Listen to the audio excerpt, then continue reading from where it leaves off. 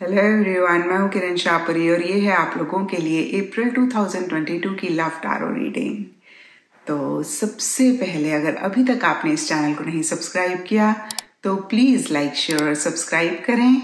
इसके साथ साथ अगर आप डेली टारो रीडिंग में इंटरेस्टेड हैं तो आप मेरा इंस्टा पेज भी विज़िट कर सकते हैं, जिसका लिंक आपको नीचे डिस्क्रिप्शन बॉक्स में मिल जाएगा। और दूसरी बात, इस रीडिंग को आप किसी भी साइन के हिसाब से देख सकते हैं। Sun sign moon sign ascendant या फिर नाम के हिसाब से भी राशियाँ होती हैं। उसके अकॉर्डिंग भी आप इस रीडिंग को देख सकते हैं। और अगर आप मुझसे पूछेंगे तो मैं आपको यही कहूँगी कि जिस साइन को आप अभी तक फॉलो करते आ रहे हैं, या फिर जिस साइन के हिसाब से आप अभी तक अपनी रीडिंग्स को देखते आ रहे हैं, सुनते आ रहे हैं, आप उसी साइन के हिसाब से इस रीडिंग को देखें। तो चलिए जी, शुरू करते हैं अप्रैल 2022 की लव टारो रीडिंग तो चलिए कैंसेरियंस आप लोगों के लिए देखें कि अप्रैल 2022 में आपकी लव लाइफ कैसी रहेगी? तो मेरे पास यहाँ पे तीन सेट ऑफ़ कार्ड्स हैं। फ़र्स्ट सेट में हम आपकी एनर्जीज देखेंगे सेकंड सेट में आपके पार्टनर की एनर्जीज देखेंगे एंड थर्ड सेट में हम देखेंगे कि फाइनली अप्रैल मंथ में क्या हो रहा है। तो आपसे शुरू करते हैं कैंसेरियंस और आपके लिए यहाँ पे सबसे पहला कार्ड मुझे दिख रहा है फाइव ऑफ़ सोड्स और फाइव ऑफ़ सोट्स का कार्ड टारो में कहीं अनफेयर एनर्जीज की बात करता है किसी लेवल पे किसी तरीके के इनजस्टिस की भी बात करता है। और कुछ ऐसा ही कुछ टाइम से या फिर अप्रैल स्टार्टिंग में आप महसूस करते हुए दिख रहे हैं। और देखिए जनरल रीडिंग है तो यहाँ पे अनफेयर एनर्जी सबके लिए डिफर कर सकती हैं। कुछ कंसीरियंस के लिए हो सकता है कि भाई आपको ऐसा लग रहा है कि आपके पार्टनर इस रिलेशनशिप के लिए, आपके लिए इतने फेयर नहीं रहे। जो आप डिजर्व करते हैं, वो आपको इस रिलेशनशिप से या फिर आपके पार्टनर से नहीं मिल रहा था या नहीं मिल रहा है? और कुछ कंसीरियंस के लिए हो सकता है कि सर्कमस्टांसिस सिचुएशंस इतनी सपोर्टिव नहीं है या फिर उनकी तरफ़ से एक अनफेयर एनर्जीज हैं और कुछ कैंसेरियंस के लिए हो सकता है कि आपको खुद से ही लग रहा है कैंसेरियंस कि आपने अपना हंड्रेड परसेंट अपने पार्टनर को या फिर इस रिलेशनशिप को नहीं दिया। कहीं आप ही इतने फेयर इस रिलेशनशिप के लिए नहीं रहे। अगेन देखिए जो आपके पार्टनर डिजर्व करते थे वो आप यू you नो know, उनको नहीं दे पाए और इसलिए एक अनफेयर एनर्जीज आप महसूस कर रहे हैं। तो देखिए ये जनरल रीडिंग है। यहाँ पे सबके लिए थोड़ा थोड़ा डिफर कर सकता है। लेकिन ज़्यादा मुझे दिख रहा है कंसीरियंस कि आपको ऐसे लग रहा है कि अगेन जो आप डिजर्व करते हैं वो आपको नहीं मिल रहा है। और डीपर लेवल के लिए ट्रायल्स ऑफ़ लव लेसन्स का कार्ड कहता है कि आप जो भी इश्यूज़ हैं, जो भी मसले हैं, उनको एक लर्निंग लेकर, उनसे एक लेसन लेकर आगे बढ़ना चाह रहे हैं। यानी कि मैं कह सकती हूँ कि एक पॉजिटिव तरीके से चीज़ों को लेना चाह रहे हैं या फिर ले रहे हैं। और देखिए, इसके बावजूद कि कुछ अनफेयर एनर्जीज हैं, आप फिर भी एक चांस एक रिस्क लेना चाह रहे हैं। बहुत सारी चीज़ों को लेकर आप श्योर नहीं हैं। फिर भी एक, मैं अगेन कहूँगी गैम्बल आप खेलना चाह रहे हैं इस रिलेशनशिप में आगे बढ़ के। और हो सकता है कि आप अपने पार्टनर को या इस रिलेशनशिप को एक और चांस देना चाह रहे हैं। और इसीलिए देखिए, या फिर अदरवाइज़ भी बहुत गिविंग एनर्जीज आपके लिए रहती हुई दिख रही हैं। या मैं कह सकती हूँ कि आपकी तरफ़ से एक गिव एंड टेक है, लेकिन इस गिव एंड टेक में इतना बैलेंस नहीं मुझे दिख रहा है। आप दोनों में से कोई एक ज़्यादा दे रहे हैं और दूसरा जन ज़्यादा ले रहे हैं। और मैंने हमेशा कहा है कैंसेरियंस की जब भी भी इन गिविंग एंड रिसीविंग वाली एनर्जीज में डिसबैलेंस आता है तभी हमारे रिलेशनशिप में इश्यूज़ और मसले भी आते हैं। तो इस चीज़ को आप ज़रूर चेक करके करेक्ट करें। और कुछ कंसेरियंस के लिए भी हो सकता है कि अब आप एक बैलेंस रखना चाह रहे हैं।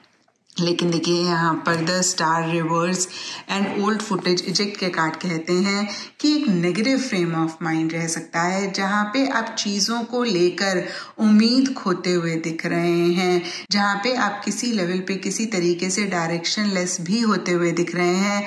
आपको समझ में नहीं आ रहा कि आप क्या डायरेक्शन लें, आप कैसे चीज़ों को डील करें और अगेन इसी वजह से या अदरवाइज़ भी जो भी चीज़ें आपको सर्व नहीं कर रही हैं, पुरानी कुछ कुछ भी चीज़ें अगेन आपको तकलीफ़ दे रही हैं, उनको आप अपनी लाइफ से निकालना चाहते हैं, उनको आप अपनी लाइफ से डिलीट करना चाहते हैं। और देखिए, मैं फिर से कहूँगी, ये जनरल रीडिंग है। तो सब कैंसिलियंस के लिए डिफरेंट पुरानी चीज़ें हो सकती हैं। जिनको आप इजेक्ट कर रहे हैं या फिर अपनी लाइफ से डिलीट कर रहे हैं, कुछ कैंसेरियंस के लिए कोई आदत, कोई बिलीफ सिस्टम कोई बिहेवियर हो सकता है। कुछ के लिए किसी लेवल पे ये रिलेशनशिप हो सकता है या फिर से मैं कहूँगी कोई भी पुरानी चीज़ हो सकती है जिसको आप अपनी लाइफ से निकालना चाह रहे हैं। और देखिए, द स्टार का कार्ड कहता है कि आपको ऐसा लग रहा है कि भाई जितना अप्रिसिएशन या फिर जितना रिकग्निशन आपको मिलना चाहिए, उतना भी आपको नहीं मिल रहा है। और अब देखते हैं कंसीडेंस के आपके पार्टनर की क्या एनर्जीज हैं। तो आपके पार्टनर के लिए देखिए, यहाँ पे सबसे पहले कार्ड्स हैं blessing in disguise and three of pentacles reverse और देखिए थ्री ऑफ़ पेंटिकल्स का कार्ड यहाँ पे दो तीन चीज़ें कहता है। और जैसे कि मैंने आपको अभी बताया, ये जनरल रीडिंग होती है तो थोड़ा थोड़ा सबके लिए डिफर कर सकता है।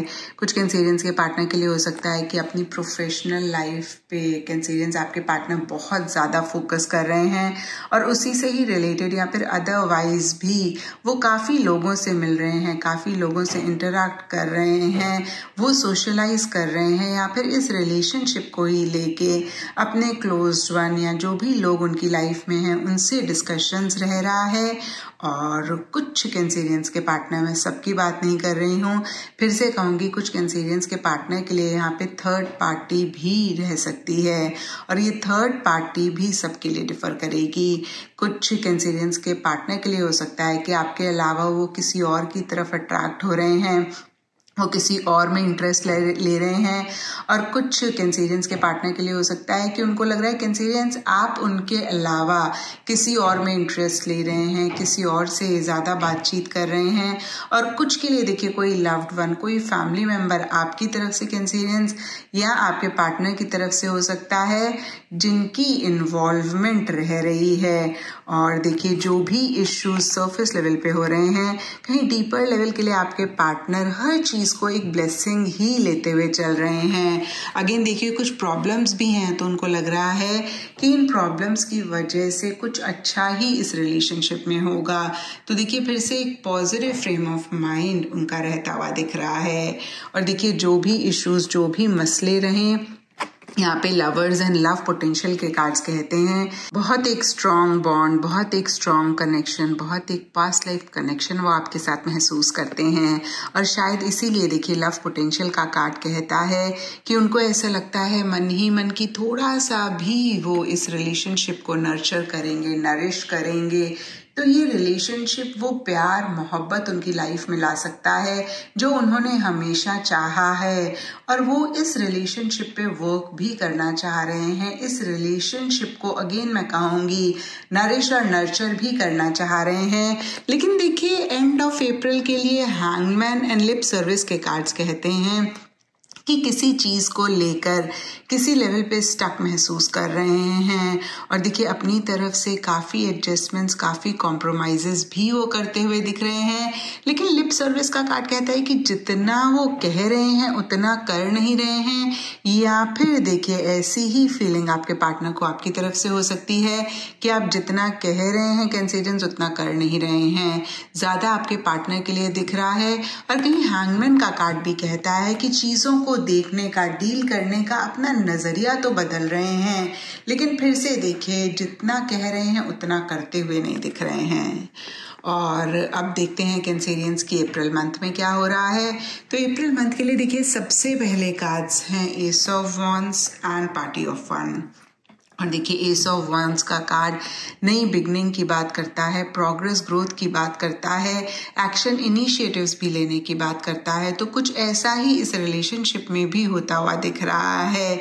अगेन या तो किसी लेवल पे किसी तरीके से नई बिगनिंग हो रही है, या फिर आप करना चाह रहे हैं, और देखिए, ये नई बिगनिंग भी सबके लिए डिफर कर सकती है। कुछ कैंसेरियंस और उनके पार्टनर के लिए हो सकता है कि जो भी पुरानी चीज़ें हैं, उनको एंड करके एक फ्रेश बिगनिंग बिगिनिंग आप दोनों एक साथ करना चाह रहे हैं, इस रिलेशनशिप को नेक्स्ट लेवल पर लेकर जाना चाह रहे हैं। और कुछ कैंसेरियंस और उनके पार्टनर के लिए हो सकता है कि आप लोग इस रिलेशनशिप को किसी लेवल पे एंड करके अकेले ही आगे बढ़ना चाह रहे हैं। और देखिए, जो भी हो, कहीं डीपर लेवल के लिए पार्टी ऑफ़ वन का कार्ड कहता है कि अगेन आप दोनों या आप दोनों में से किसी एक को ऐसा लग रहा है कि भाई अपनी खुशी, अपनी हैप्पीनेस के लिए दूसरे जन पे बहुत ज़्यादा डिपेंड नहीं होना है। कहीं खुद से भी चीज़ों को इंजॉय करना आना चाहिए, कहीं खुद से भी यू नो अगेन मज़ा मस्ती करनी चाहिए, अपनी कंपनी इंजॉय करनी चाहिए। तो इस पर थोड़ा सा फोकस रहता हुआ दिख रहा है। और देखिए डीपर लेवल के लिए casual dating and mind possessiveness के कार्ड्स कहते हैं कि चीज़ों को आप लोग बहुत कैजुअल रख रहे हैं। एक पोजेसिव एनर्जीज हैं। कहीं एक किसी लेवल पे जेलिसी भी रहती हुई दिख रही है। एक दूसरे को को आप चाहते हुए दिख रहे हैं, एक दूसरे के साथ रहते हुए या साथ निभाते हुए दिख रहे हैं।